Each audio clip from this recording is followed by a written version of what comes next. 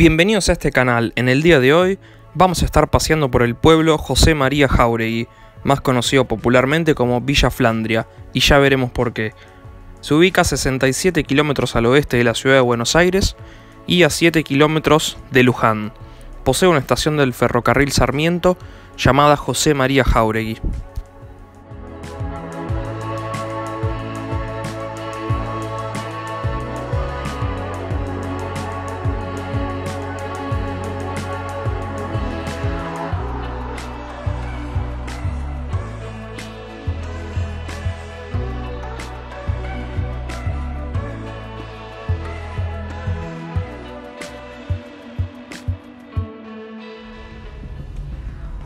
Bueno, esta acá por lo que me están comentando era una algodonera. La algodonera de Villa Flandria. La algodonera de, Flandria. de Villa Flandria que hoy en día funciona un parque industrial que aloja un montón de marcas conocidas.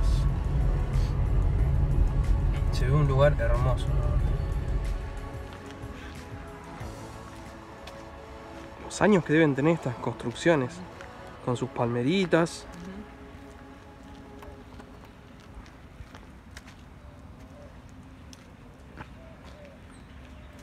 Se nota que le dan mucha importancia a todos los espacios verdes y todo lo que sea recreativo y el cuidado, ¿no? Porque yo no veo que acá pase alguien limpiando, simplemente la gente limpia lo que ensucia y así se hace. Siempre se va a mantener muy lindo. Los árboles hermosos ahí.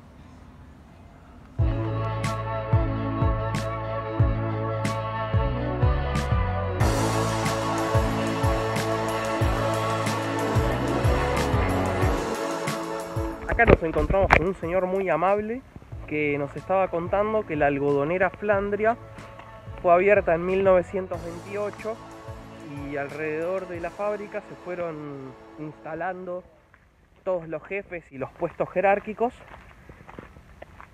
y que en este lugar suelen sufrir de muchas inundaciones a causa del río y de la laguna. Así que ahora por suerte desde el 2014 decía el señor que no, que no habían muchas eh, inundaciones.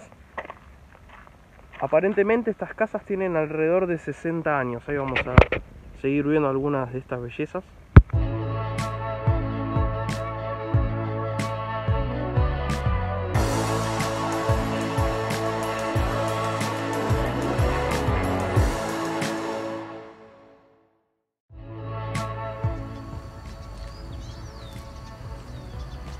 Wow, ahí hay una laguna. Tiene un montón de vegetación.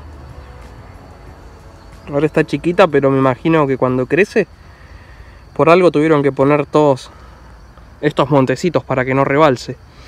Y acá nos estaba contando el señor que todo este caminito, que quiero remarcar que está muy bien cuidado, y eso es gracias a la gente que vive acá, era el caminito que hacían los operarios para venir a la fábrica.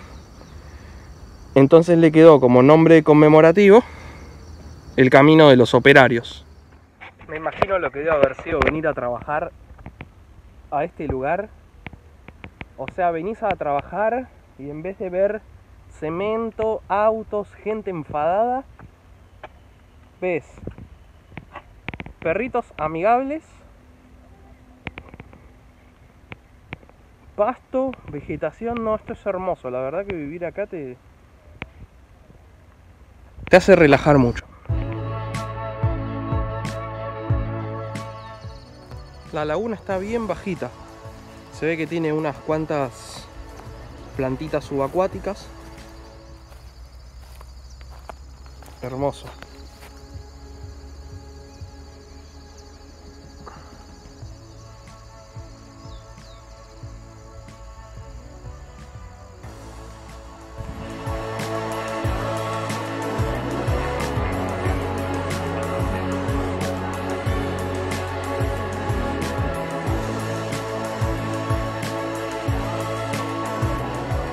Por allá a lo lejos se ve una tribuna de una cancha y me están diciendo que acá el club se llama Villa Flandria. O los canarios. O los Canarios. la- O el canario. El canario. o el Canario. Le dicen el canario. Aquí está la señora que hace el City Tour, la verdad que Y porque a mí me lo explicaron. me parece súper interesante el concepto porque es un pueblo generado en base a una mega fábrica. O sea, el, Es que el pueblo nació por la fábrica. el pueblo nació por la fábrica, es decir, para generar pueblos hay que generar puestos de trabajo, si no, la gente no se va a agrupar. Las localidades de, de la zona, por ejemplo, Ken, Carlos Ken, que es una que está por acá, cuando se abrió la, la fábrica, la algodonera, toda la gente migró para acá para, por los- para trabajar. Y Carlos Ken quedó totalmente deshabitado. O sea, el viejo Julio este, que no me acuerdo, que es el creador de la algodonera, eh, además de dar puestos de trabajo, hizo que la población y el pueblo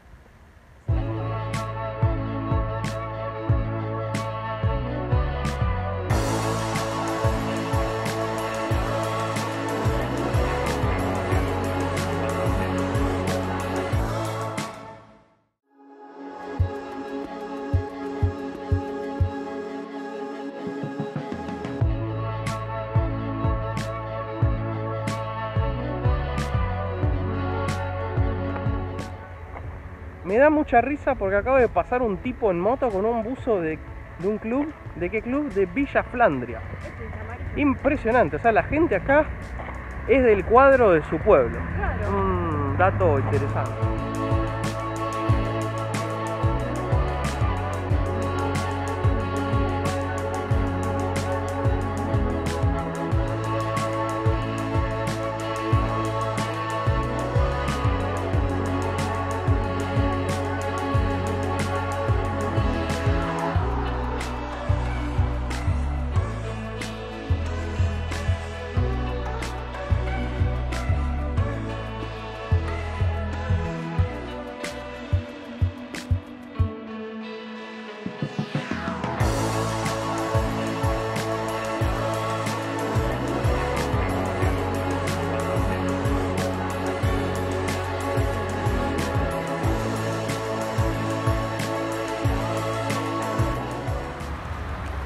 Este era el nombre del señor fundador de la algodonera Flandria.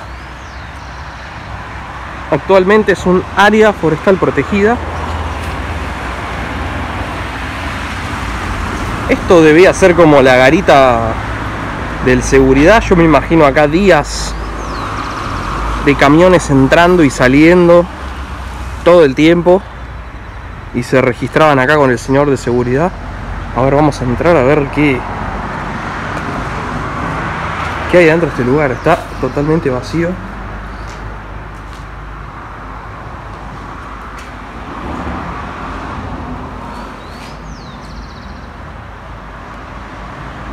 Una linda ventanita con vista al monte.